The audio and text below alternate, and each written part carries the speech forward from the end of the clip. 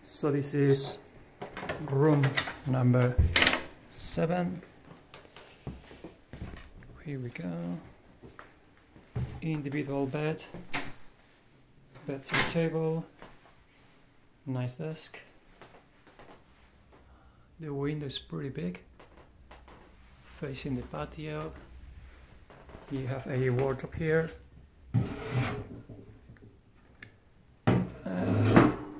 A nice, a nice chest of drawers here.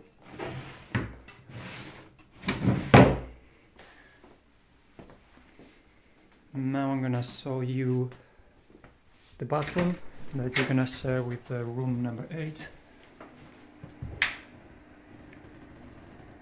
It looks pretty good.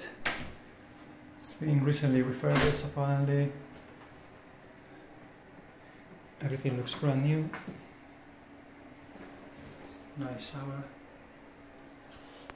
Okay, I hope you enjoy. Hopefully this will be